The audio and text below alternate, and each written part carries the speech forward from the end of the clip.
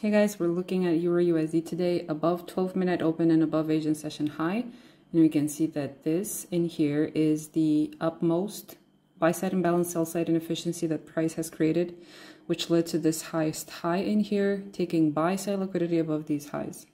After this, what we can see is price then turns this candle into a bearish order block. That imbalance is mitigated and then we can see the RBV entry trigger. Now if we're going to move the chart a little bit more to the left side, we're going to see that a new imbalance in here formed, so a new bearish fair value gap and then it's mitigated in there. And again, we can see the RBV entry confirmation. So another sell could have been taken over there. Obviously, stop loss goes above this high. Now, because I was not at my desk while this crazy move has happened, now you could think, okay, now I want to identify if this is the trending move, okay, then any move to the upside is going to be a pullback, right? So what I need to focus on right now is when will I have a bullish fair value gap that's going to be part of a bullish pullback, which is here, okay? When will that be invalidated to the downside? Price then goes up, taps that bearish fair value gap, mitigates it, and then gives us our two